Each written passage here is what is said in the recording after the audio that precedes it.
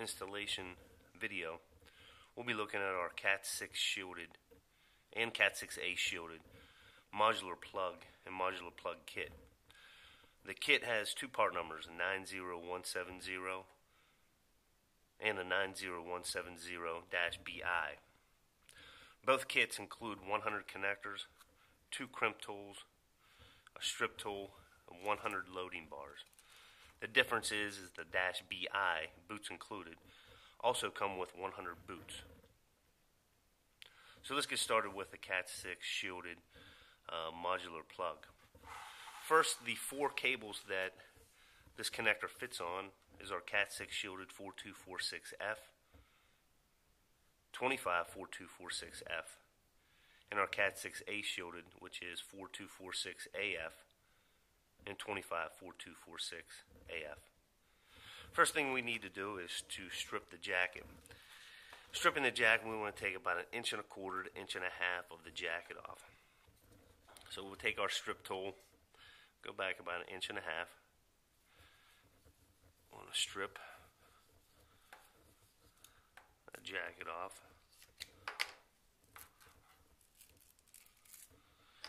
And what we have is our drain, wire that we want to separate that. And then we have a mylar coating that's over top. And we'll just take wire cutters and just snip that off and peel that off to expose all the conductors. Now the conductors we want to separate those, or the pairs we want to separate those, because internally there is a, a, a spline that separates the pairs to make it a Cat 6 shield, Cat 6 or Cat 6A shielded cable. We want to disregard that and cut that off. Once that's cut off, we want to take a separate tool, which is not included in our kit, which is our TL-Cat Wire ST pair separation tool. And this tool basically uh, separates the pairs without damaging your fingers.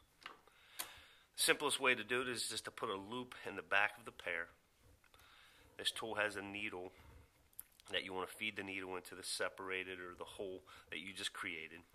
And just simply pull that. And it separates the conductors nice and straight for you.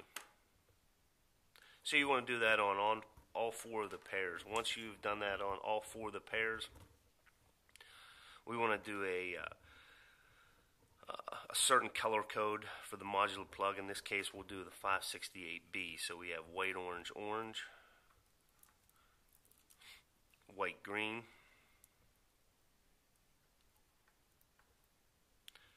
We have blue, white blue, green,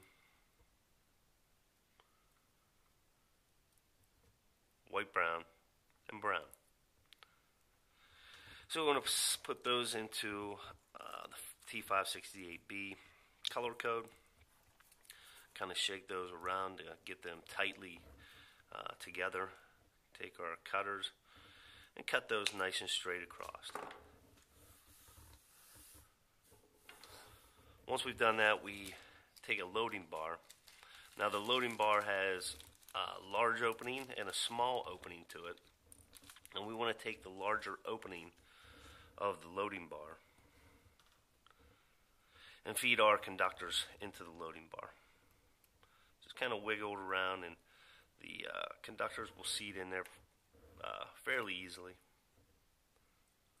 Once we do that, we want to take our cutters again and cut that pretty much flush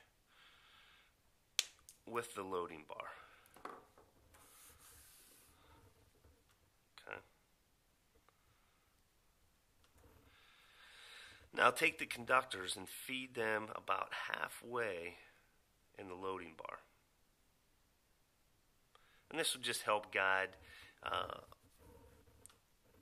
the cable into the modular plug itself.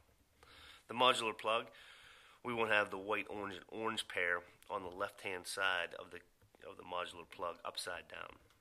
So we want to feed that into the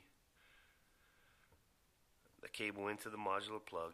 Just kind of twist and turn it around a little bit until the jacket is into the connector. And then visibly take a look at it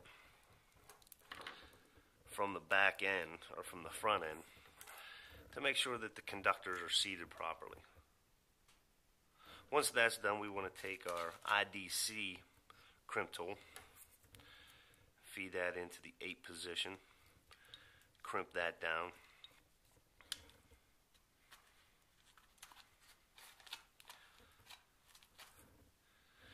Take our external ground and push that up onto the jacket. Take our drain wire. We want to wrap that around. You can do that a couple times. Just want to make sure we have a good connection there for the ground.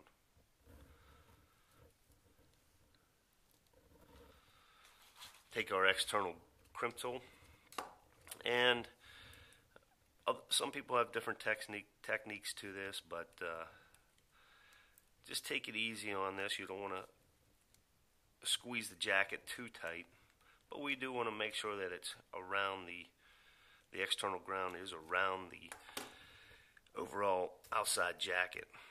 And if you need to, you might need to snip off some of the uh, drain wire. Once that's completed, if you have bought the boot version of it, and this is something some people forget to do, is we want to make sure we load the boot onto the cable. But of course, this is more for aesthetics and looks than anything. Take our boot up over the connector.